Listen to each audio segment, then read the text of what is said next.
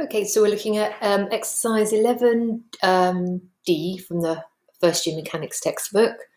Um, so we're told about a particle P, we're given its velocity in terms of t, um, and we're told that it doesn't start at the origin. So when t is zero, it's starting at x is four, um, and we want the distance of p from the origin when t is zero. So um, given the velocity and we're asked a question about distance. So distance is obviously related to, to displacement. So that's going to involve integrating. Okay, so if you've got velocity and you want um, displacement, then we're going to need to integrate. So, uh, so we're doing question three, and v is 8 plus 2t minus 3t squared. So the displacement is going to be um, the integral of that.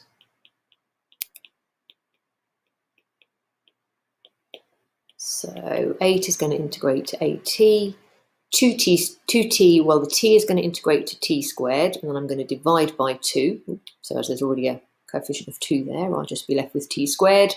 Um, that's going to integrate to t cubed. So when I divide by 3, that's going to cancel the 3 that's already there.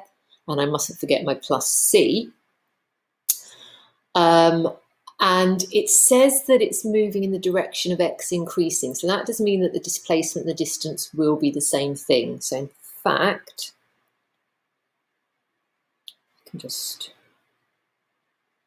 call that x. Okay, um, so I am told that when t is 0, x is 4. So if I use that information, so if t is 0, 8t is 0, t squared is 0, t cubed is 0, so c is 4.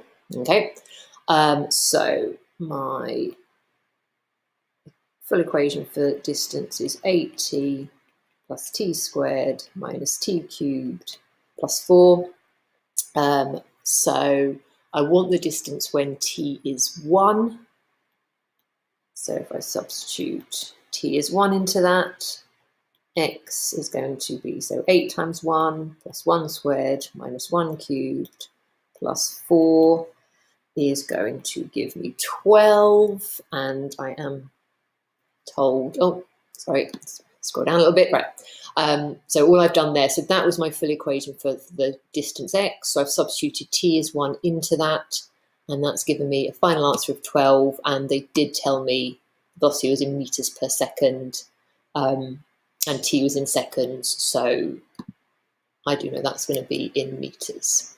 Okay, so let's just double check that. Brilliant.